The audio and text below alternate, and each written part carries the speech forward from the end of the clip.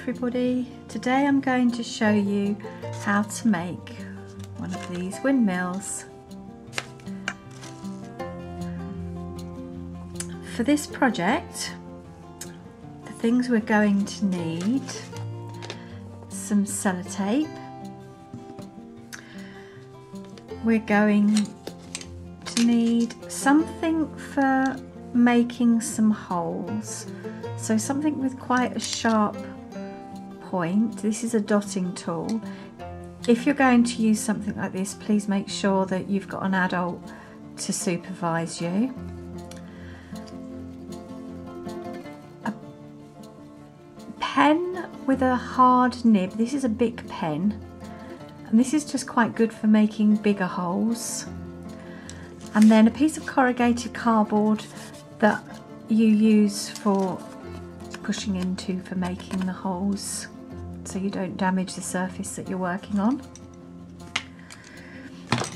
We need a pair of scissors, some Pritt stick type glue, doesn't have to be Pritt stick but just some glue like this, nice and easy to use. A paper stick which I have done a separate tutorial to show you how to make your own. Basically, it's a sheet of paper rolled up nice and tightly and glued. So you need to make one of these. A straw. These ones are waxed paper straws, but they can be plastic. And you need to cut a 2.5 centimetre section and a one centimetre section off your straw.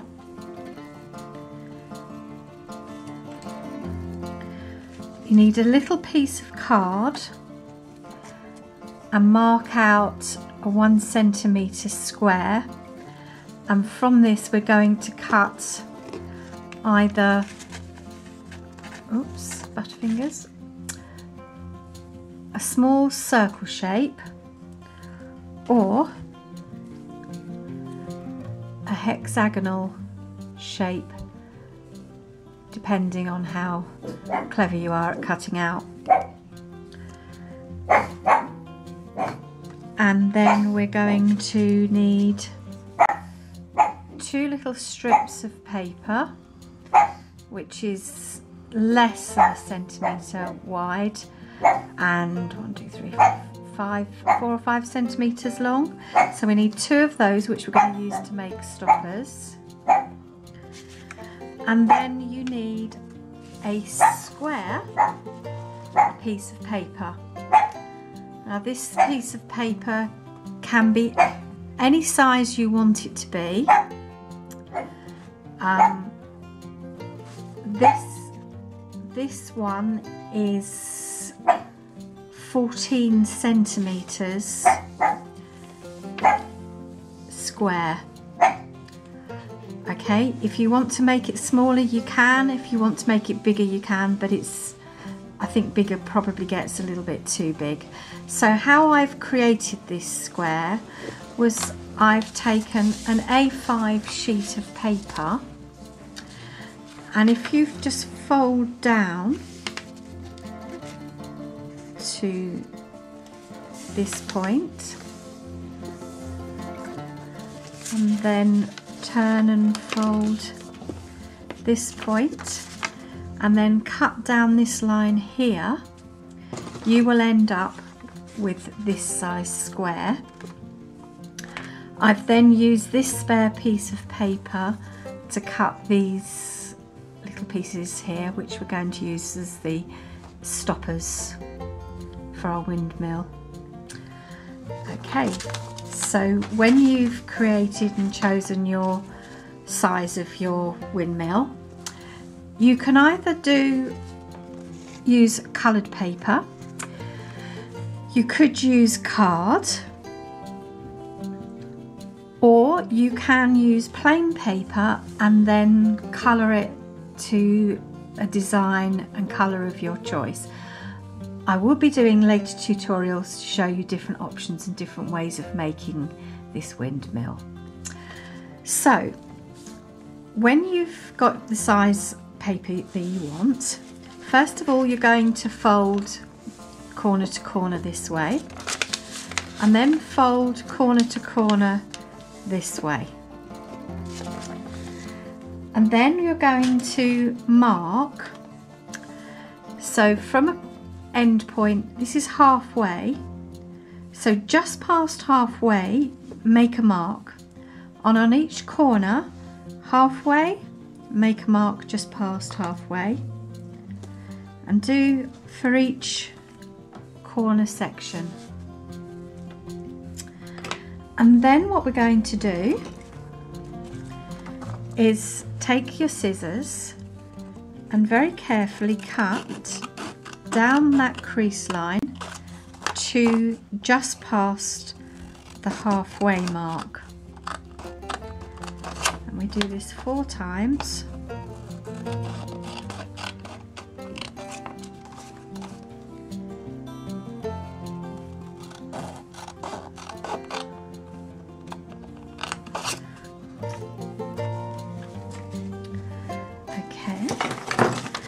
And then we need to make a hole in the middle. So this hole is going to be quite a large hole. So I'm going to put my corrugated card underneath take my hard nibbed pen and just push through. And it needs to be a reasonable size because eventually this straw is going to fit through Okay, so when we've done that, we're now going to basically fold opposite corners down to the middle. So you need to take your glue and you can do it one of two ways. You can either put your glue in the middle here first or you can just glue straight onto the out, outer corner. So let's start with this corner fold the corner in to the center but not quite at the center because you need to leave space for the hole to go through and then just hold and press. Now we need to carry on gluing each of the corners so apply the glue, fold the edges down and hold and press. If you find like I am here that the glue's not drying quickly enough, fold all the corners down and then use something to weight the edges down. I've used the Pritt Stick glue bottle to just hold them in place until the glue has dried properly. So like this and then leave it to dry. Whilst the windmill is drying, we're going to start making the stoppers. So how we do this is take one of these pieces of paper and the cocktail stick and we're just going to start rolling just to get some shape. And then just a little bit of glue on that end. Hold this end down and then put lots of glue onto there. And then carefully start rolling. This needs to be nice and tight. It doesn't matter if it starts to move off the center line like this. Make sure it's nice and tight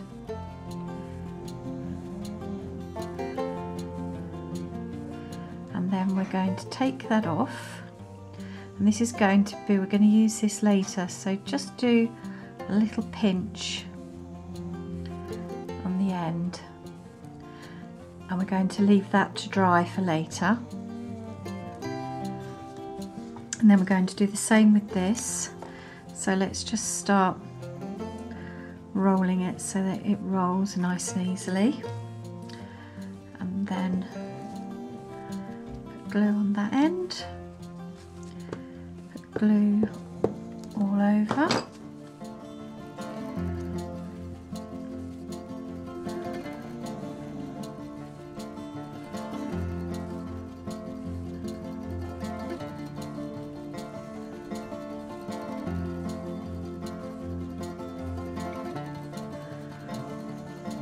and then this one we're going to dip the stick into the glue so that we've got lots of glue on the tip of the stick. And then push the little stopper up to about there. I'm going to cut off this little sharp point from the cocktail stick and then just push this stopper up and squeeze on the end.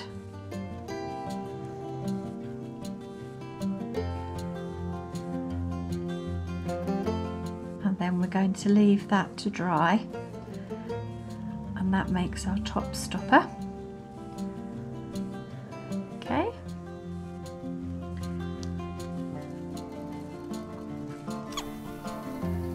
Now we're going to take the small piece of card that we've marked the one centimetre square on. You can either cut a circle out of this square or cut the square out and then cut the corners off to make a hexagonal shape. This is a little bit easier than making a circle.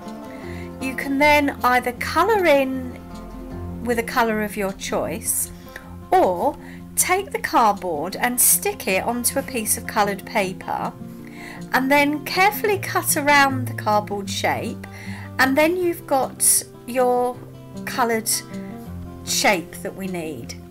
We now need to make a hole into these little shapes so take your corrugated card and a sharp implement to make the hole and very carefully press in the centre and make a hole that's big enough for the cocktail stick to go through.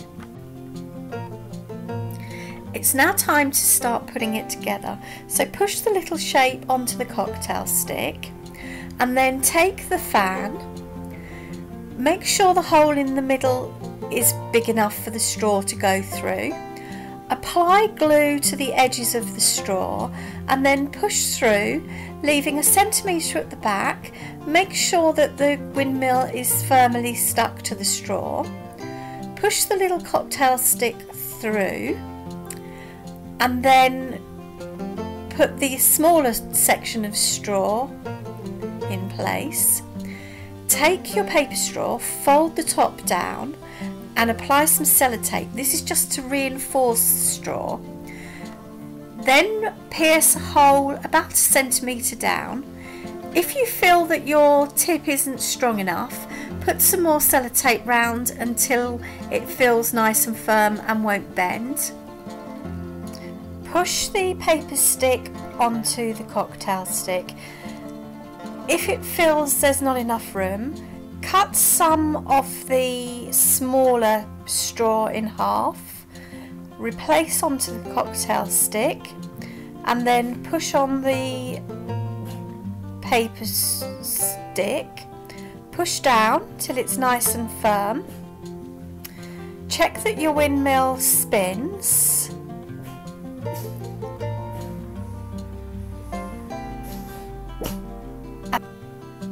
Now apply lots of glue to the tip by pushing into the Pritt stick.